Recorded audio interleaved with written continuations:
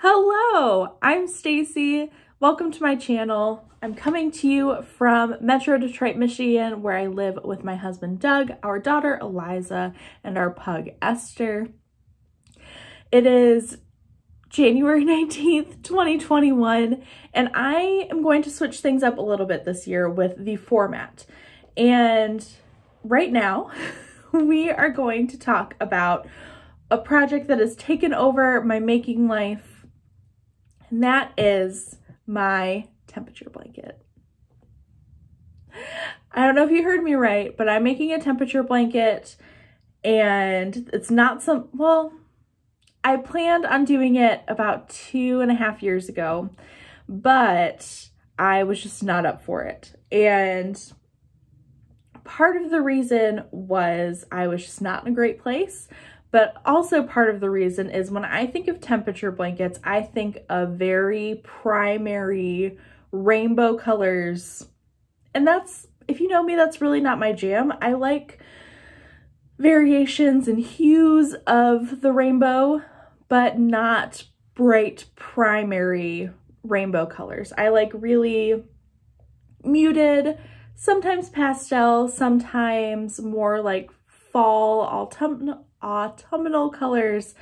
Um, it really just kind of depends on my mood. It depends on what I'm going for and that kind of dictates where I go with the shade of a color.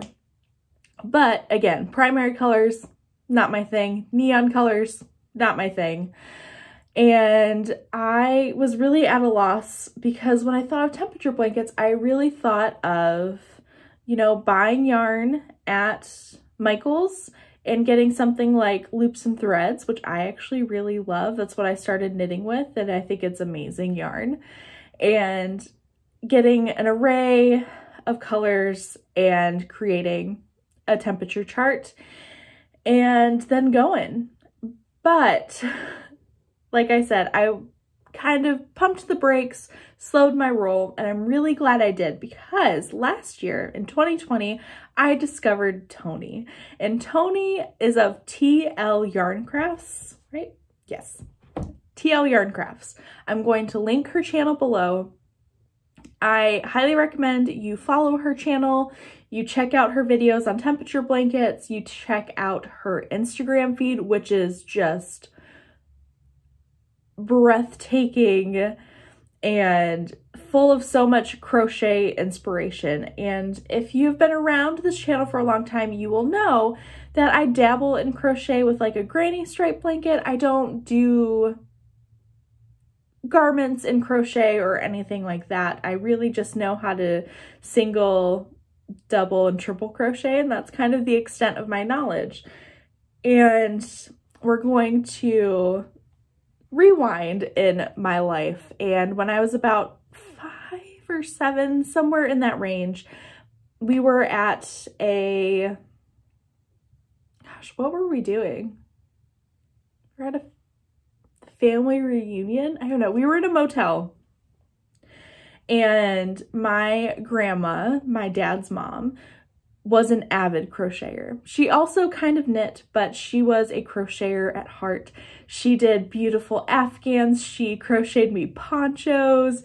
Um, yeah, she was just incredibly crafty and thrifty. And I think part of that comes from her living through the Great Depression and really learning how to create with the materials around her. But she really fell in love with the fiber crafts, specifically crochet. And I, like, the majority of my life before she, um, she had dementia, she, you would just see her with a crochet hook and yarn in her hand almost all the time. So I really think that she instilled the love of crochet in me. And I also love crocheting because it makes me remember her. And I don't know, it's just, it's really cool to do this thing that my grandma did. And yeah, I don't know, it's just, it feels kind of full, full circle because she taught me how to chain. And I think she taught me how to start something and turn something, but that never clicked. I just remembered how to chain. And so there's a picture of me with like my five-year-old mullet because my hair grew weird. and I just had like this mullet and I had like sweatpants and a floral, you know, late 90s shirt on. And I just have like yarn tucked under my arm and I'm just, I'm crocheting, just making a chain and the chain's really long. And I, I need to find that picture and put it on my Instagram because it is the funniest thing. And I don't know, whenever I touch a crochet hook and I am making like a granny stripe, that's what that reminds me of. That's what it brings me back to. And I really love it. So I really wanted to when I was pregnant with Eliza, so this was in 2018, um, once I kind of got out of the morning sickness phase, which for me lasted the first two trimesters, um, once I kind of got out of that, so I was about like 30 weeks, which if you know my history, I wasn't pregnant for much longer. Um, I really thought about making a temperature blanket for the first year of Eliza's life. I thought it'd be really special. I thought it'd be something she could have forever. I don't know, I just thought it would be this really beautiful blanket that is quick to make because crochet is so fast and that it would be a substantial size that she could take it with her throughout her life and remember me and my love for her and have this blanket that's a representation of her first year. So then all of the drama happened with my pregnancy. Enter postpartum depression, enter horrible months of just trying to get back into the groove and also having a newborn and my medical stuff on top of that. And it was just like this whole mess that that kind of went out the window and I clung to my knitting for comfort. But fast forward to 2021, the end of 2020, I decided that I was going to buckle down, start Eliza's temperature blanket. So traditionally a temperature blanket, you start the first of the year and you go to December 31st and you choose the high or the low or the average temperature and you pick a color palette.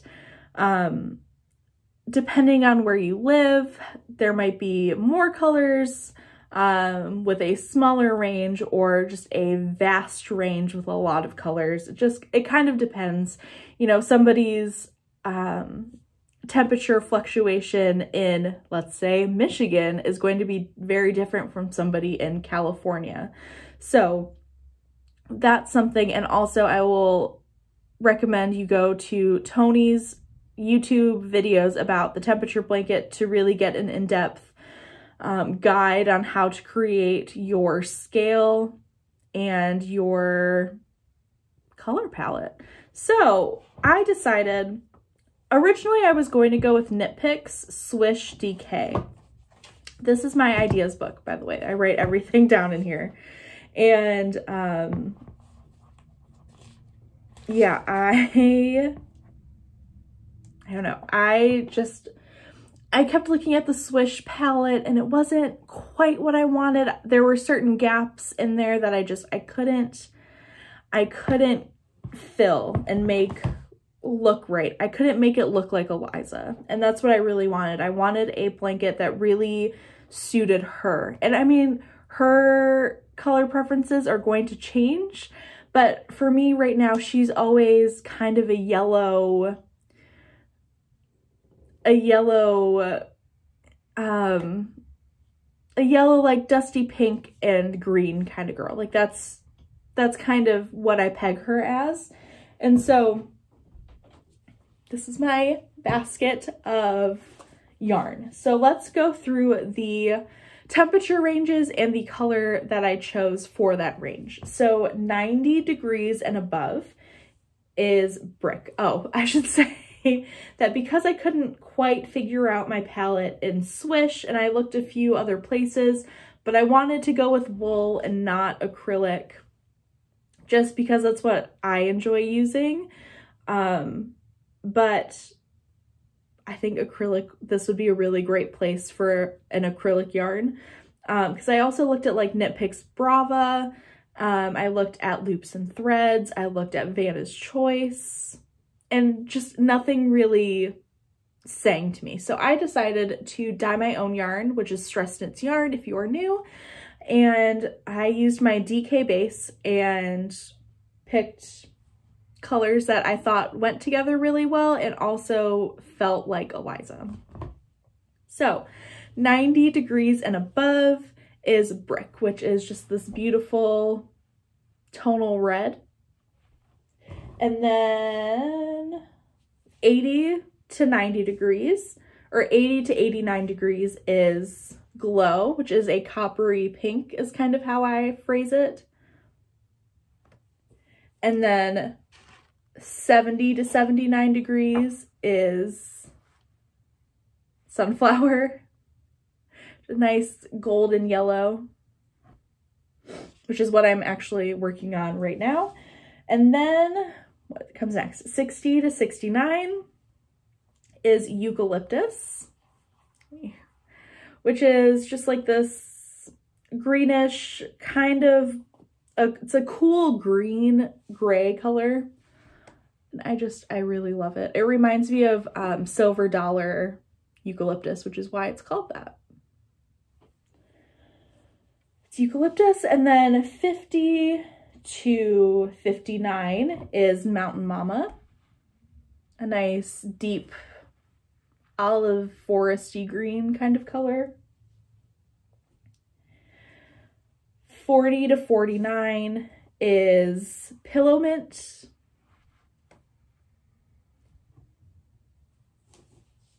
Thirty to thirty-nine is perfectly adequate. Uh, just a good run-of-the-mill midline gray. And then 20 to 29 is Betty. Not Betty. It's not Betty anymore. It's Button Up. Oh, Stacy. I renamed it Button Up. It was originally called Betty, but renamed it Button Up because it's the same color as my favorite button up shirt that I wear all the time. There's just a nice little blue color. And then the 10 to 19 degrees is dried lavender.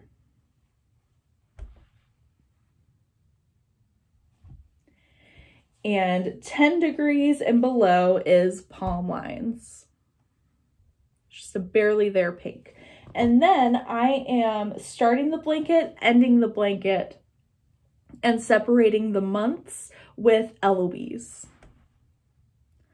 Because honestly, if I could pick a color to represent Eliza, it would be, or like a group of colors, it would be these three. This feels very Eliza. And then maybe adding a green to it. But these three, that just, it screams her to me. So that is my color palette. I have them all in here. I don't know if you'd see that. so I have them all in there. And then what I did, because I am doing kind of a retroactive temp blanket, I already have written down all of the temperatures from June 14th, 2018 to June 14th, 2019. Because this is going from her first day on earth to her first birthday. So I recorded the afternoon high because the website I'll, I used, which I'll link below in case you want to do a retroactive blanket. Like I've thought about doing one for my first year of marriage, um, the first year of life, um, maybe the year, like your last year of college, or maybe your kid's senior year, like those kinds of things, like big, big things, right? That's kind of where my brain is. Um, but you could do it literally anytime. And yeah, I don't know. I'm just, I'm really excited about this. So I will link the website that I put it on and it had like the low the morning high, the afternoon high, the evening high, something like that. It had like a range, but I picked the noon high. So like the afternoon high, that's what I went with. It was the highest um, point of every day and wrote every single one down. So I've already finished the month of June, but I it's the I start on the 14th. So um I did like half of a month and then I'm also almost halfway through July and I'm getting really excited to get into these cooler months because the first three months are mostly 70s, 80s, and 90s. And I actually have a 60 degree day coming up in at the end of July, which is just such a Michigan Midwest thing to happen. Um, so I'm excited to have that like little blip of eucalyptus in there. But yeah, once we get into September, the blanket is really going to start shifting to the cooler month colors or the cooler temperature colors. I'm drinking iced coffee in case you're wondering. So let's actually show you the blanket because I made a lot of work on it. So actually, first things first, the crochet hook I'm using is a Clover Amour. It is a seven hook, a 4.5 millimeter. It's blue. I was turned on to these by Jacqueline Salem of the Jacqueline Salem YouTube channel and I love them. So highly recommend these. I also really love Knitter's Pride, excuse me, Knitter's Pride crochet hooks. These are my two favorites, but right now the way that I'm crocheting and the amount that I'm crocheting, this ergonomic handle is really coming in handy. So I really, really recommend the Clover Amour. I will also link those below. So this blanket, like I said, I'm starting with Eloise. And then you'll see another blip of Eloise here, which is where July starts. But this, oops, this is where I'm at. As you can see, there's a lot of 70 degree days here at the um, end of June. Yeah, I just, I really love it. This feels like an Eliza blanket. I, so the rule for Granny Stripe is, uh, what is it? A, a multiple of three plus one. I think so. I did 210. I forgot to write it down. I think I did 210 plus one. So 211. And it's like, it's the perfect size. So I laid it over mine and Doug's lap and we can both fit under it really comfortably. And so I really think this is going to be a really good size for her to have maybe on her bed if she likes it enough, but I'm not going to force that at all. But maybe when she's older, maybe when she goes to college or moves out, whatever she ends up doing, maybe this will follow her and live on her couch or something like that. That's kind of my dream, but I'm not going to force it. But I just really love it. It feels it feels like her and I'm so happy that it does. Um, yeah, I just, I really, I'm so happy with how this is coming out. I can't wait to share this with you as it grows and talk to you about what I've learned. I've already learned so much. So I have 10 colors that I'm using. I'm using increments of 10 degrees or 9 degrees and um, I would already make that a little smaller, so maybe five or six degree increments, just because in the Midwest, we do have a lot of fluctuating temperatures and that will be very evident in the later months. But in the summer, we kind of hover around the same few temperatures the entire summer.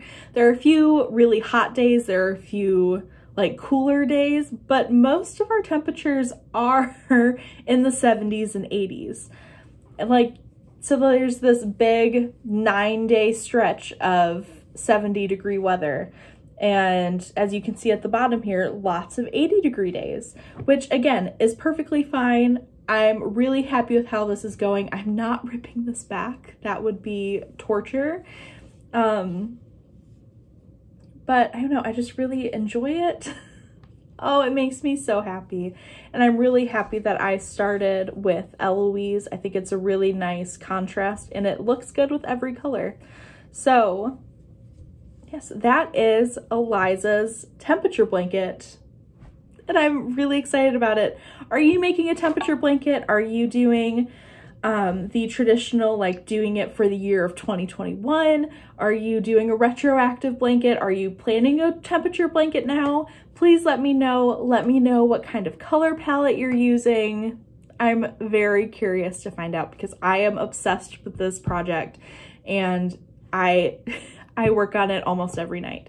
So with that, thank you so much for joining in. If you are interested in supporting the channel, please consider becoming a patron. These are the people who get the content first before it comes out to all of you and they make it possible for me to take the time to do this.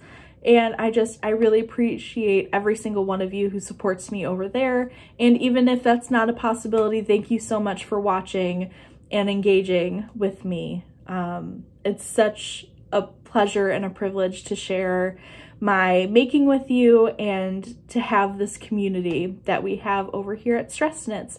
So thank you so much. I hope you are having a good start to your year and I will see you soon. Bye.